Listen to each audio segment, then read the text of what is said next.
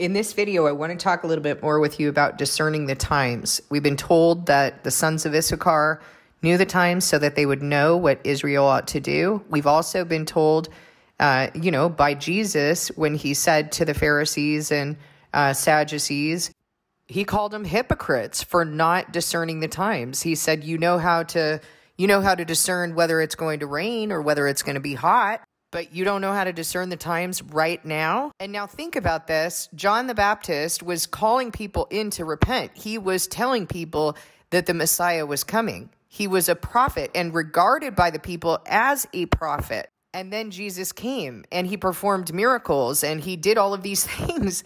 And they were hypocrites. They would not discern, they would not admit that he was the Christ. What am I telling you right now? God has sent you witnesses to tell you the times. So if you do not discern, you are as guilty as the Pharisees and Sadducees who were not discerning the times. You would be called a hypocrite, which means you need to go back to God and you need to ask Him if what I'm saying is true. It's not for you to discern, it's for Him to discern and reveal to you. And here's what else I want to tell you God is going to answer you no matter what. And you ask for that. You say, Lord, confirm what she's saying, confirm it without a doubt in as only you can, or disprove what she's saying. You ask him for that because I know God and I know that he will answer no matter what. You don't be lazy and say, "Well, he's not he's not speaking to me, therefore I've made a unilateral decision that what you're saying is true or what you're saying is not true. No, you need to ask him to prove to you what the truth is. And he will. I know that he will, but you have to know that he will. You have to believe that when you ask him for wisdom that he will give it. The other day we were doing a study of end times in Bible study and someone asked about NATO because I've talked about NATO before. The part the reason why I've talked about NATO, so I want to put this into context for you, is because there are key players in the end times. Biblical prophecy between Daniel 2, Daniel 7, Revelation 13 and Revelation 17 is crystal clear that the Antichrist is that kingdom of counterfeit Christianity started by papal Rome, the kingdom of papal Rome. That is the Antichrist. And we know that the next kingdom or beast that rises in Revelation 13 and is testifying to this beast is the United States. It's the only other kingdom that could be because there are eight kingdoms. Well, actually, there's seven kingdoms, and the eighth kingdom is one of the seven. The Antichrist that, that was, now is not, but will rise again, as spoken of in Revelation 17. We know that that is papal Rome and the prostitutes that were out of, out of her. Babylon the Great and the prostitutes that bore out of her in counterfeit Christianity through the Reformation. We know that the United States is the false prophet because there's only two other kingdoms after papal Rome. And that is the one that took it down, which is not going to testify to it, which is atheistic communism. And then the United States took down communism. That's the one testifying to papal Rome, to counterfeit Christianity. And as a matter of fact, if you don't remember, you may not remember this, but Pope John Paul II assisted the United States in taking down that kingdom that took down papal Rome, atheistic communism. Now, there are also 10 toes or 10 kings that came out of the fourth kingdom, which is the kingdom of pagan Rome. And that's the 10 Germanic tribes that became Western Europe. So these are key players in the end times papal Rome, Europe, and the United States, and all of counterfeit Christianity that bore out of their harlot mother, papal Rome. So it would behoove us to understand how this is being played out right now, wouldn't it? Since we're literally living in biblical prophecy, since we're literally living, I mean, during our lifetime, that kingdom was taken down. So it's only a matter of time before the next one rises, isn't it? And the United States has played a major role in setting that kingdom up to rise, in testifying to that kingdom, as is spoken of in Revelation 13. So you need to understand that much of this propaganda that has been that has come out regarding climate change is coming from Europe. And as a matter of fact, they have a lot of influence on what goes on in the United States through the United Nations. So let's understand the difference between the UN, NATO, and the EU, because I think that that might be tripping some people up. NATO is not necessarily the beast, but NATO is involved in the beast. The players in NATO, in the UN, in the EU, these are all players that are coming together as that beast. Remember that the Antichrist is a harlot riding a beast, is Babylon the Great and the prostitutes that bore out of her. So the harlot riding the beast. So we have counterfeit Christianity, but counterfeit Christianity is controlling what? What is a beast in scripture? A beast is government, it's a kingdom, or it's a system of kingdoms and governments. So the United Nations plays a mediating role in, in international conflicts. This is where government comes to play. NATO, the EU, all under the guise of government. Who's the puppeteer?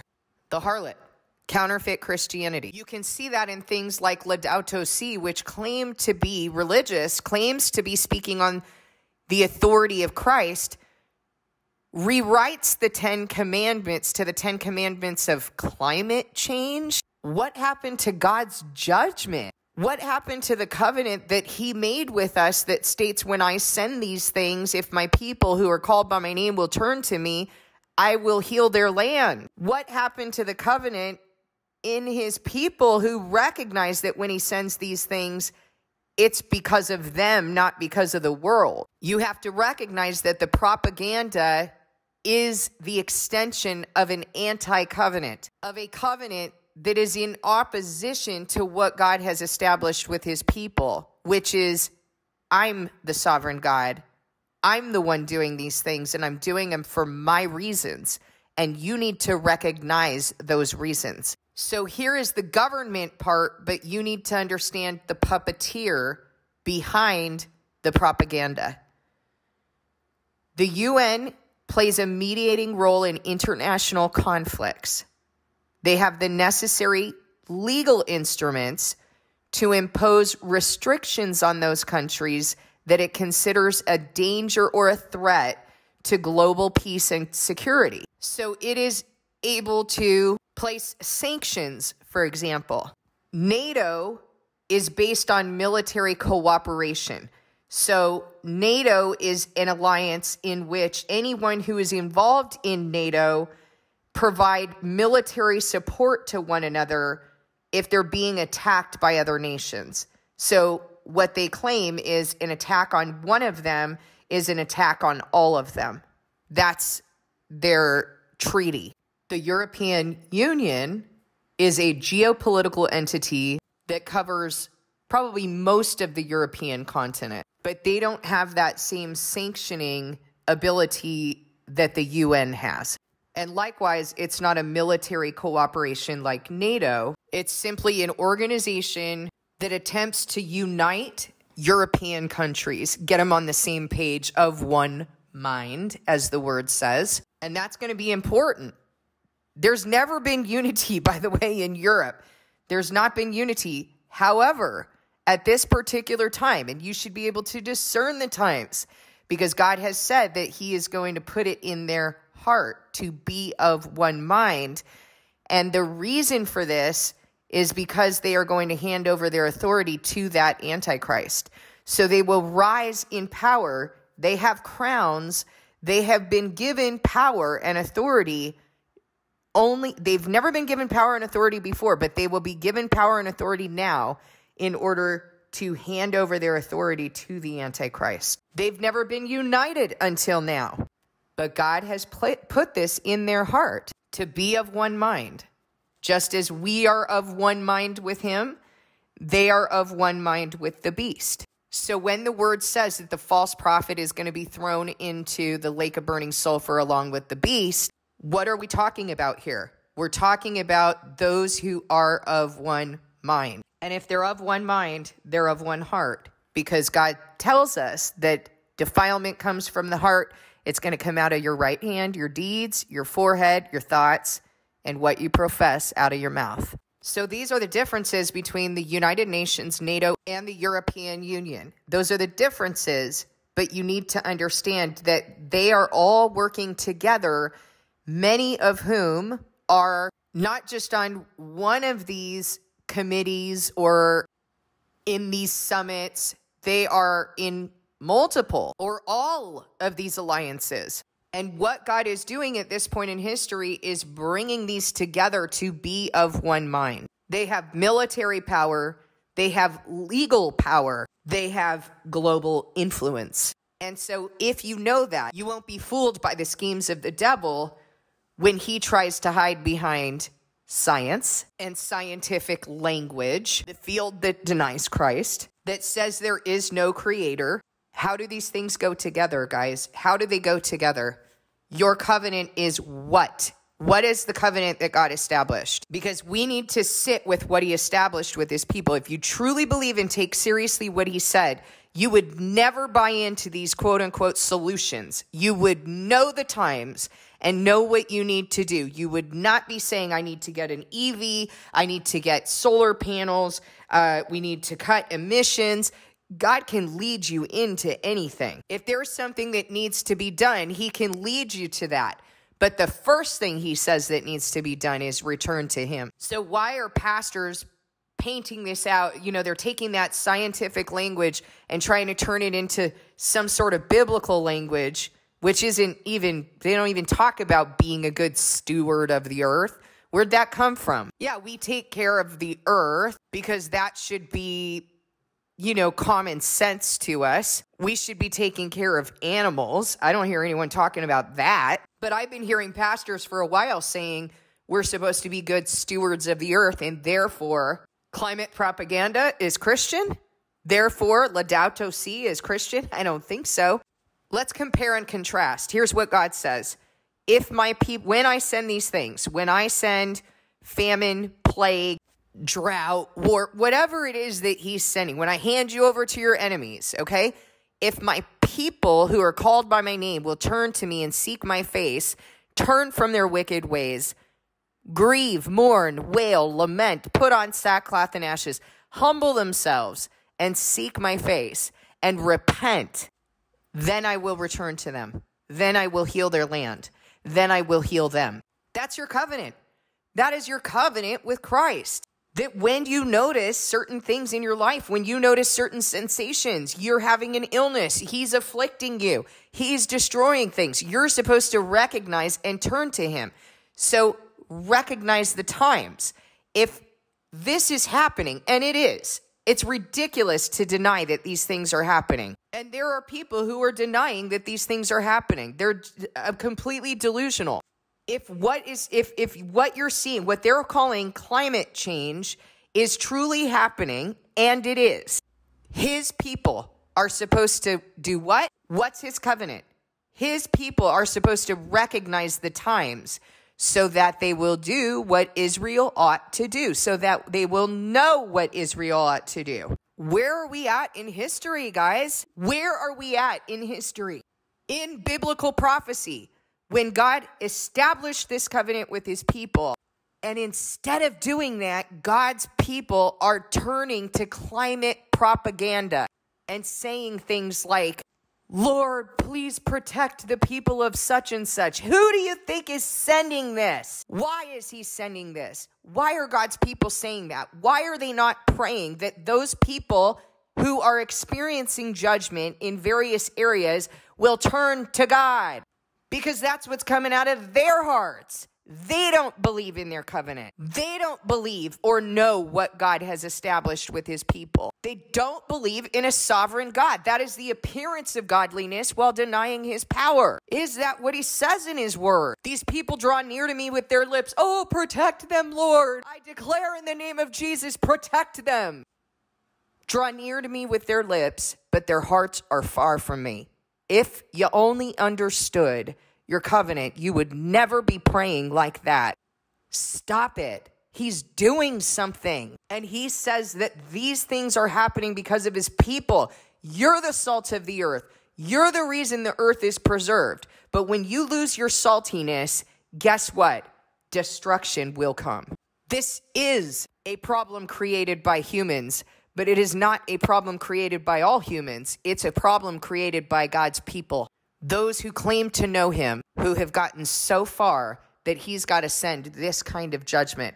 And it is serious judgment. There is something happening every single day, and yet it's not being televised. Why? Why is it not being televised? I guarantee you that the verbal explanation is that they don't want to rile up people like Greta Thunberg or Turnberg or whatever her name is. But that's not what it is.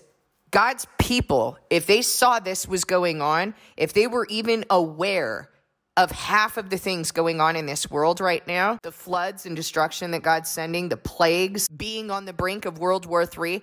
Are all of those things climate change? I mean, are plagues and war caused by climate change? Come on. Financial ruin because there's there's a pattern. Plague, financial ruin, war. That happened with World War 1 and it happened with World War 2. You mean to tell me that there the climate change is to blame for all those things or is this God doing exactly what he said he would do in the covenant to warn us that it's time to return to him? What are the times, guys? When Europe, which has never been unified, never been united, comes together and the United States comes together with Europe and Laudato Si is influencing communications and legislation in the United Nations. What are the times, people of God? Are his witnesses here right now? Or we have another thousand years to go? What are the times? This science that is being perpetuated in the United Nations, in Laudato Si, is an anti covenant. So when you see in the word that a covenant is being extended at the beginning of that seven years, it is a covenant that is an anti covenant. It is in opposition to what God has established. Do you recognize it or not? Are you going to return to God or are is your reliance, is your trust, is your hope in science? The field that from the very beginning has denied that there is a God. The field that from the very beginning bore out of people rejecting the word of God and going to listen to those who were wise in their own eyes, philosophers who have no wisdom at all, but give you some other option than the covenant God has extended to you. What's it going to be, guys?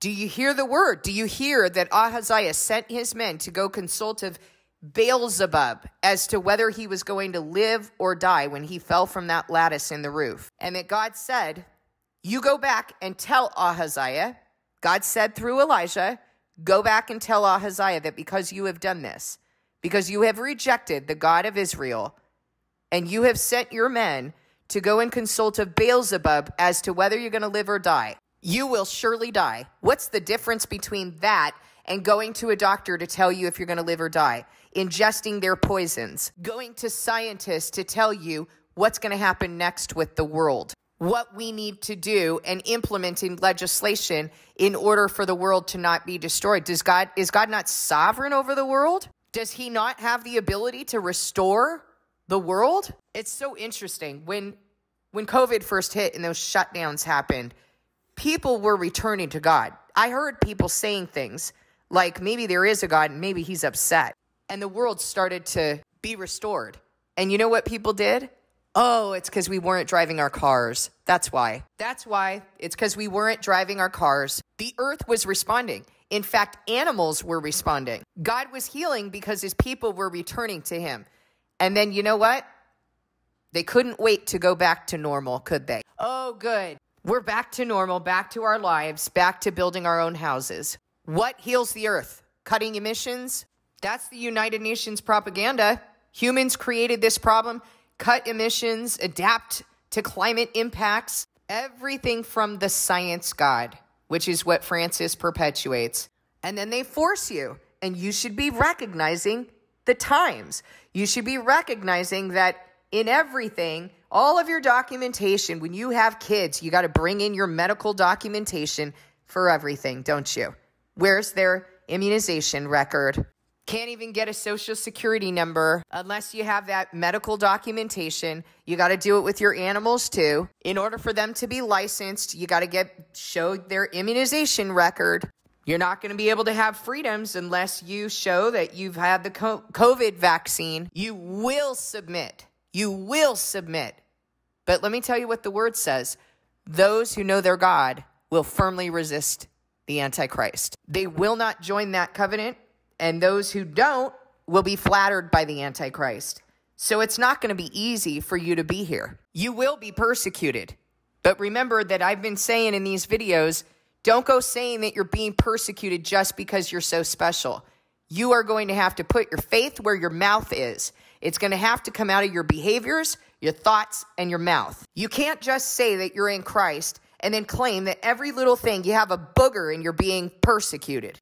You are going to have to put your faith in your right hand, your forehead, and your mouth. You need to recognize the times. You need to sit with what he established with his people and really rend your heart to what that looks like because it doesn't look like what I see counterfeit Christians talking about and doing. He says, I am your healer. When I send these things, I'll heal you and I'll heal, your land. He says, I will not put on you any of the diseases I put on the Egyptians if you obey my laws and my decrees. I am the Lord your healer. We don't believe it. We do not, the majority of people do not believe this to be true. They claim him while subsidizing. And really, they, I mean, honestly, the way that it is, if you're taking medication, if you are going to a doctor to tell you whether you're going to live or die, and you think that medication or those herbs or those tinctures or those potions are going to heal you, that's your God. And you're supposedly subsidizing with Christ. That's your God. You don't believe that he can heal you. That's what's coming out of your right hand. That's what's in your forehead. What are the times, guys? There will be wars and rumors of wars. There will be plagues. He will be harming the earth. There will be plagues that are spirits. A spirit will go out of a person and it will return. Stop calling it autism, ADHD, anxiety disorder, dyslexia. I don't care what the world says about it. Jesus said children are affected by the sin of the parents. That what is going to happen with this generation is that when a spirit goes out of a person, it will go through arid places looking for rest, come back, uh, not find it, come back, find the house swept clean and unoccupied. And the final condition of that person will be worse than it was at first. So it will be with this generation. What is a diagnostic manual? It is deception for those who do not love truth. If you believe in the word, if you truly have faith, this will be coming out of the way that you think. So that when these things happen, or you're looking at what's going on in your life, you are going to understand it by the word and by God's Spirit not by some expert in the world. So many people are arguing about what this war is all about. I've had people come against me in vile and accusatory ways saying that I hate Jews because I'm saying I'm talking about what God is bringing from a biblical perspective. Therefore, I, I hate Jews. And I was I was watching a visit that Ben Shapiro made to Oxford University and watching these debates that were going on between the two of them because I wanted to understand what are people saying about this war. And the thing that keeps being said on one side is that this is genocide of Palestinians, on the other side, well, oh, so if you say this, then that means that you are for the genocide of of Israel. And I was noticing how easy it is to get tripped up in those political, in that authority of the world, in those political debates. And I find it interesting that those claiming to be religious don't speak on the authority of what God's doing. They're out, he's out there claiming that this is persecution when it's judgment. This is not persecution just for being your special self. This is judgment. When God starts bringing enemies against people, it is judgment because he has had every ability in every other situation in the Bible to take a tiny army and make his people prevail. If that's not happening, what do you think this is? If he's handed you over to enemies, what do you think this is? Is he shaking you up to wake you up? What is coming out of a person's mouth, the authority on which they speak, is the spirit in their heart. And all I kept thinking last night is, what about God and what he said? What about his authority? If what's coming out of your mouth is the authority of politics, the authority of medicine, the authority of science, that's what's in your heart. The very things that deny God. Oh, oh, but America, oh, they're so godly, right? You know, they always say God, God, God, Christ, Christ, Christ. The cake and eat it too gospel. We're the world, but we also want Christ. So here's my authority of the world, period. Amen. Praise God. What are the times, guys? The appearance of godliness, but denying his power. What are the times? What are the times we're living in? I have illustrated several things for you regarding the times right now. I have illustrated the key players that are coming together, the covenant that was extended by the Antichrist through the United Nations. This is a what? Writing a what? It is a church. That is the puppeteer. Counterfeit, Antichrist religion that is actually controlling legislation that is actually the one influencing what you see going on in politics right now that you keep calling politics. And all of these key players have one purpose, and it is to hand over their authority to that beast. That beast is in control right now. And when the witnesses have completed testifying, you're going to see it rise and you're going to be shocked. But you won't be surprised if you are discerning these things right now if you are one of the wise, as is written in Daniel 12, the wicked will keep doing what they do, but the wise will understand. So God does expect us to understand. He does expect us to discern with Him. If you truly believe and take seriously what He has said, you will not buy into these things. Please discern this with God.